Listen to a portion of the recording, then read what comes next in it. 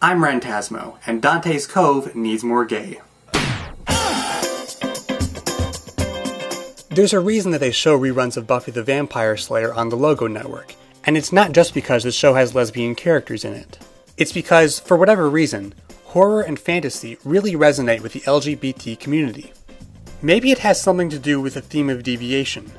Horror and fantasy often deals with characters who have some sort of secret that both makes them unique and puts them on the fringe of society, be it a fascination with mad science, a nightly transformation, or magical powers. Dante's Cove continues in this tradition, only it's a little, let's say, less subtle about it.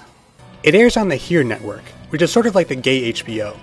Essentially, Dante's Cove equals one part Buffy, one part soap opera, and about five parts softcore gay porn. Because if this show has one defining feature, it's the really long, really frequent, and really graphic sex scenes. Okay, stay with me straight guys, there's some lesbians in there too. Despite all of the ugly bumping, most of this show actually does have a legitimate story. Maybe not a very good story, but it's at least there. Sort of. Kinda. To be fair, the show actually gets a little better in the later seasons. But season 1 is a lot easier to make fun of, so let's just focus on that for now. We start out in 1840, where we meet Grace and Ambrosius. No, not that Ambrosius.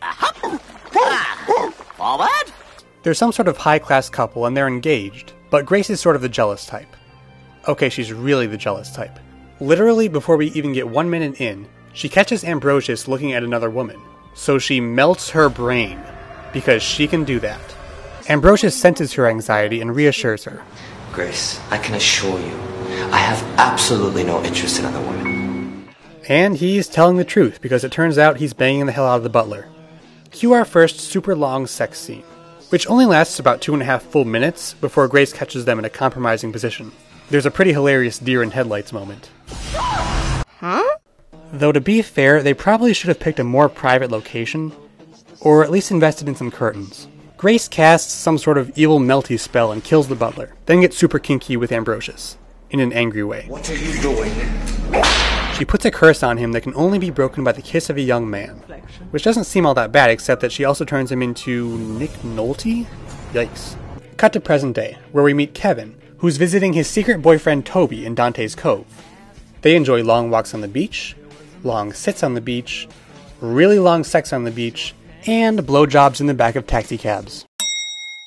But there's trouble in paradise. Kevin hasn't come out to his parents yet, and his relationship with Toby has some other sort of non-specific tension in general. It isn't gonna work. How do you know that? Because nothing ever does. Nothing. Nothing works ever. Now let's go have sex again. No, seriously, that's pretty much what happens. Kevin goes back home to his parents, who turn out to be pretty much the worst parents ever. I'm not living in the same house with a faggot. So after about 30 seconds, he heads right back to Dante's Cove to live with Toby. Then this happens. Kevin. Yeah, there's a lot of weird, irrelevant montages in this show, because God knows if there's one thing this show needs, it's more padding. Kevin arrives at the Hotel Dante on what appears to be Casual Friday and meets a few of the locals, each of whom are more naked than the last. Oh, hey. no, it's cool. Watch. He also meets Van, who fills Kevin in on the hotel's creepy history. Turns out that this used to be Grace the Witch's house, and there was also some weird incident where a couple kids mysteriously turned into piles of ash. No biggie. Meanwhile, Toby is on his way to the hotel when he runs into a mysterious old lady, who is pretty much every mysterious old lady ever.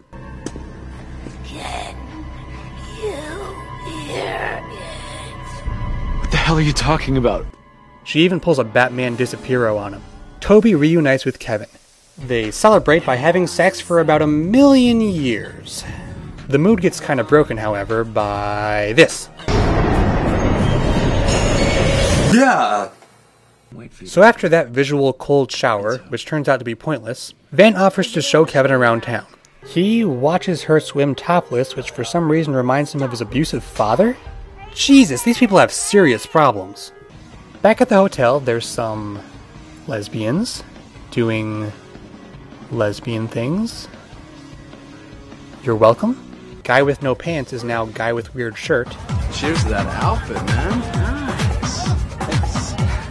Kevin eventually ends up in the hotel's basement and hears some weird noises coming from beneath a locked trapped door. He takes off the padlock but doesn't have a chance to open it because it's time to have sex again? Seriously? Do these people even have jobs, or does this place just sustain itself on some sort of sex barter system? Whatever, Kevin has a mid blowjob vision, beckoning him back to the trapdoor. So he ditches Toby because goddammit, someone needs to quit having sex long enough to advance the fucking plot. He finds and releases Ambrosius, who of course kisses him, breaking the curse. What a lame curse. At least make it a kiss of true love or something.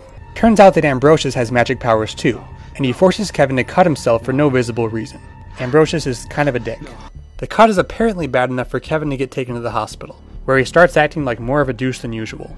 He has a long, pointless dream about himself and Toby, but they don't technically have sex this time, they just have some sort of sexy picnic. Mysterious old lady shows up and gives Toby a photograph of Ambrosius with an important looking riddle on the back, which he immediately throws away. Smart. Ambrosius has moved into a lighthouse and he seems to have developed a thing for Kevin, because he casts some sort of spell that summons him. They get sexy for a while, and then Kevin returns to the hospital with no memory of said sexy times. Weirdly enough, who should Kevin's nurse be but Grace, looking very Palin-esque. She does her melty eye glow spell and kills Kevin. Boo freaking who. Elsewhere, Ambrosius runs into mysterious old lady and kills the hell out of her. Her body fades away because apparently she's an enemy in a first person shooter. Toby and Van find out that Kevin's dead, cry, cry, cry. Ambrosius finds out too and gets pissed off at Grace, and then ends up putting the same curse on her that she put on him.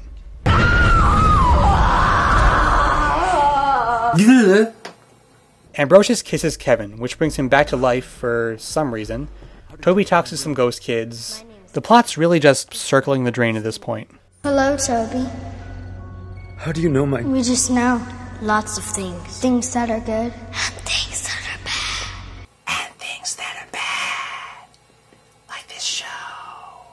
Toby and Ambrosius both find out that Kevin's not dead anymore.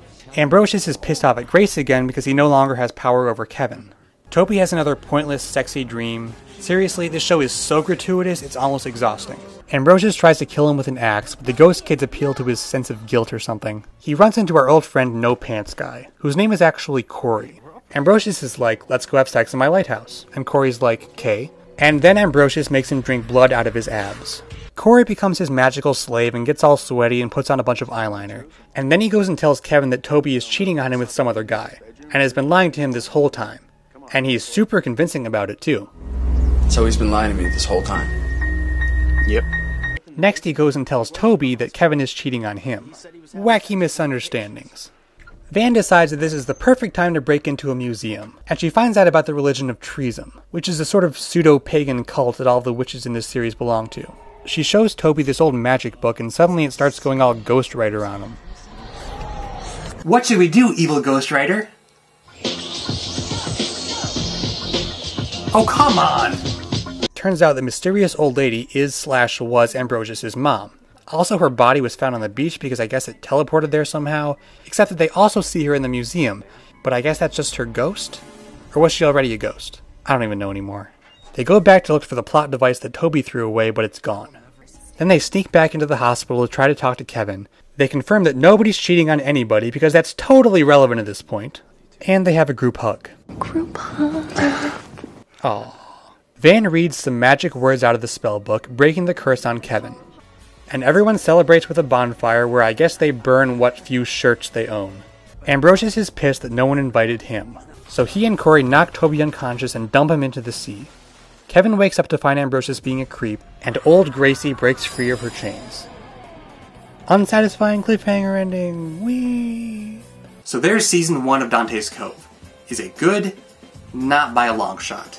Is it at least enjoyable? Well, I guess that depends on what it is you're looking for. If you're looking for a decent horror fantasy story, it's definitely not your best option, even if you're looking for something with a gay slant. If you're looking for porn, it's probably not your best option either, because the attempt at an actual story is probably going to distract from the important things. I guess all things considered, the best thing you can say about Dante's Cove, at least the first season, is that it's just a campy guilty pleasure. Just take whatever joy you can find in the lame acting, the cheesy effects, and of course, the gratuitous nudity. So, if you're looking for naked wizards, I guess Dante's Cove is for you. Or maybe Equus. I have to go take a shower now. Make me feel so happy.